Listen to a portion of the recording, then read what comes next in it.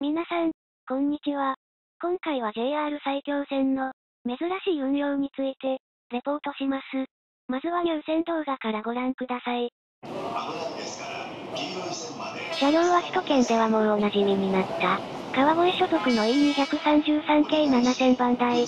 朝ラッシュの余韻もあるこの午前9時30分過ぎに、新宿駅2番線に入ってきます。この日は首都圏のあちらこちらで、小さな遅延が発生しており、その煽りを受けて、この列車の発着も多少遅れております。この電車は、武蔵浦和始発の新宿行きの840系電車で、上り、新宿で折り返して池袋行きになります。ラッシュ時間帯の終わりの時間帯ですが、それでも朝ラッシュの余韻の残るこの線では、池袋にある東京総合車両センターの池袋派出所への改装を兼ねて、そこそこ需要のある池袋まで旅客を運ぶという JR にしては、えらく気の利いた運用です。新木橋発池袋駅などは、1尾に数本設定されていますが、新宿始発池袋駅は、平日のみでこの1本のみ、始発の次の駅で終点という、とても珍しいものです。ドア上の案内表示の内容も、ちょっと寂しい感じがしますね。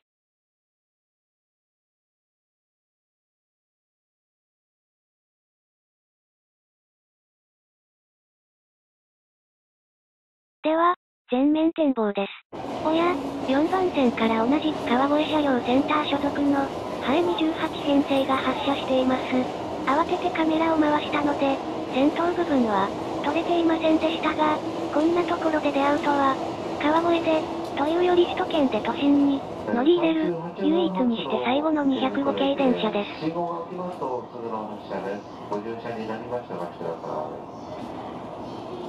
その205系の後に、いよいよこちらも発車です。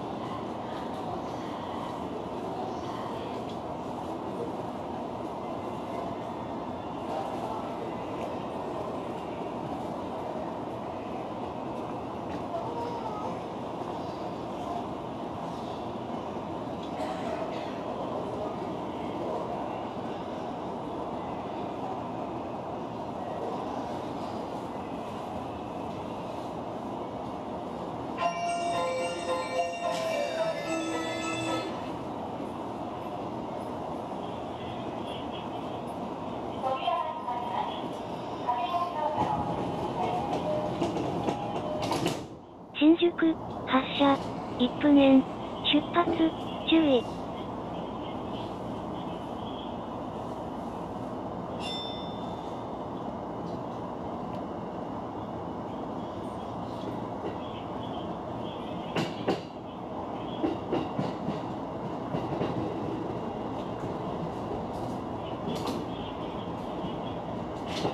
JR 東日本をご利用くださいましてありがとうございます。この電車始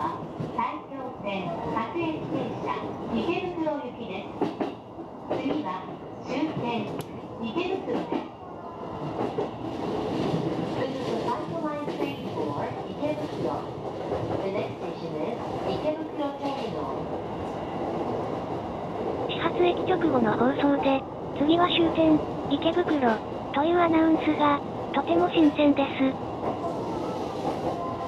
ご存知の方も多いと思いますが、今乗車している埼京線とは、実際にこのような路線があるわけでなく、大宮から赤羽までの東北線と、赤羽から池袋までは既存の赤羽線と、それ以南の池袋から大崎までは、これまた既存の山手貨物線を旅客化したもので、この3つの路線を全部または一部を走る運転系統を埼京線としています。赤羽線は以前から存在していましたが、東北新幹線の建設に、並行して、大宮から徳内へ至る新線建設が、行われ、1985年それらを、直通運転させ、今の埼京線の基礎ができました。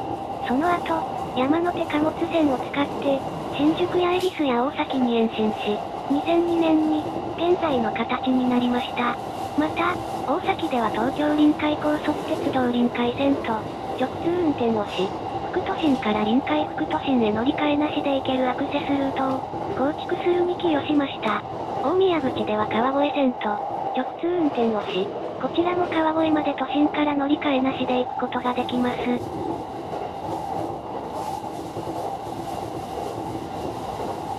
右手に見える線路は西武新宿線です。左手は山手線です。西武線とは、この高田馬場までの区間では、しばしば並走バトルが楽しめます。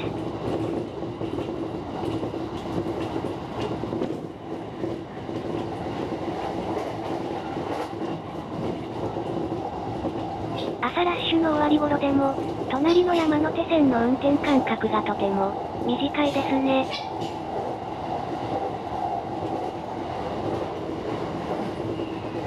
この日は曇っているので、見えづらいかもしれませんが、もう少しすると正面に、大きな煙突が見えてきます。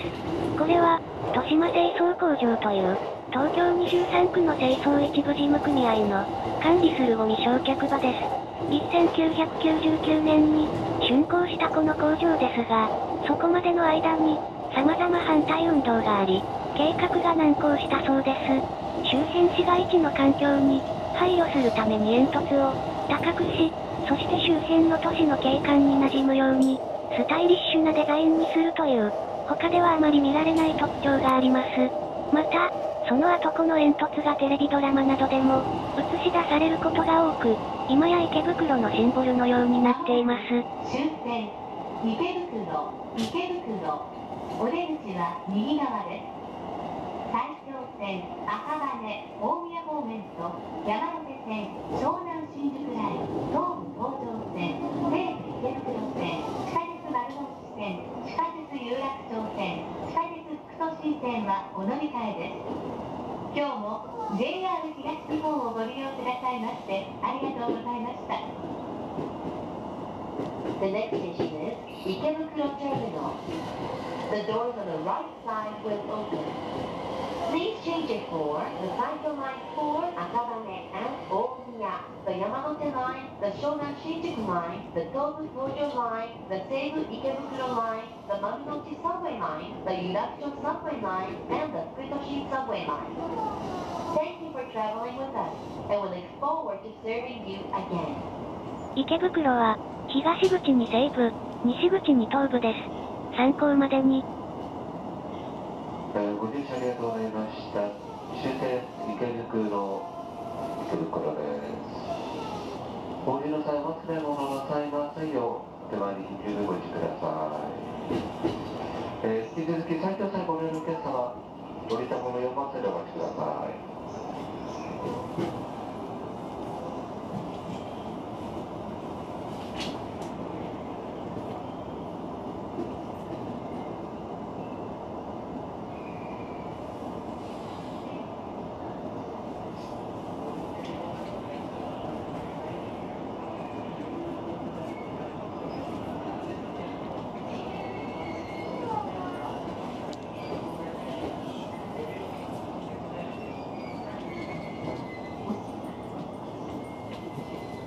到着しました。池袋、終点です。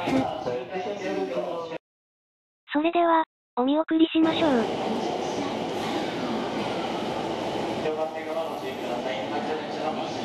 わずか5分ほどの運転でしたが、いかがでしたでしょうか？普段はとても混雑する大宮よりの、先頭車でしたが、乗客は長い椅子に数人がかける程度でした。これがないと、次の列車を待つか、山手線で移動するか、はたまた丸の内線で移動するかの選択を迫られますが、どれも混雑しているので、とてもありがたい列車だと思います。これから車庫に入って、夕方の運用に備えます。では皆さん、最後までご覧いただき、ありがとうございました。